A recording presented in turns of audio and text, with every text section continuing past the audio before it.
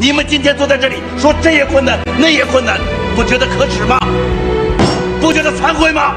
现在前方的战斗正在进行，每一秒钟都有牺牲。在短时间内，让我们组派两千医护人员入朝，难度比较大。我是粮食部，志愿军需要的熟肉副食，恐怕难以保证了。我是纺织部的，志愿军所需的被服，现在正在全力赶制。但由于生产能力有限，能不能赶得出来，我不敢说。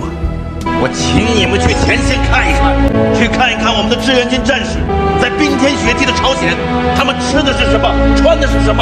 我可以告诉你们，你们眼里最可爱的那些人，在美军的飞机、大炮、坦克的轰炸下，趴在雪窝子里忍饥挨饿。都说是一把炒面一把雪，但更多的时候，我们的战士没有炒面，只有雪。他们在为谁牺牲啊？他们在为谁流血呀？和这些娃娃们相比，你们今天坐在这里说这也困难，那也困难，不觉得可耻吗？不觉得惭愧吗？娘妈的！